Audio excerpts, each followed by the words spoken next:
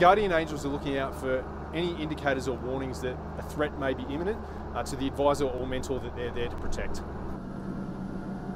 We provide protection uh, to threats from insurgents, both in a dismounted role as Guardian Angels, uh, and we also provide protected mobility support uh, when moving around in Kabul and the other multitude of locations uh, across Afghanistan.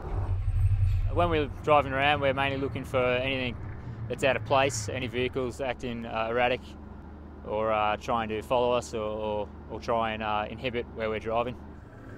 For a major activity such as the Afghan National Army Officer Academy graduation parade, we'll utilise Guardian Angels to provide that close personal protection to the VIPs, uh, as well as snipers in overwatch positions to provide that external security.